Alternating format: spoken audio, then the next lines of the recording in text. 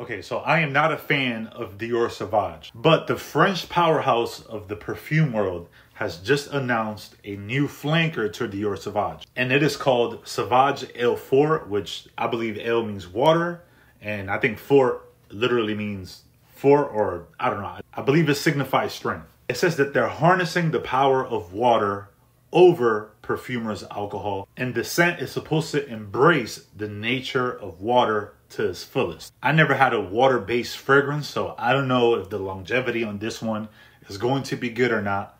And even though I don't necessarily like Dior Sauvage, I am kind of excited to get this fragrance, review it. I feel like for some reason I might like it, especially because of the notes. And the notes are bleached lavender, cold spices, woody notes, and musk. So Francis D. Kurkdjian, however it is that you say his name, I'm sorry, bro. You already know is a master perfumer, legendary. He has a lot to say about this fragrance. I'll leave it down in the link, but comment down below what you guys think. Is it a banger or is it a flop?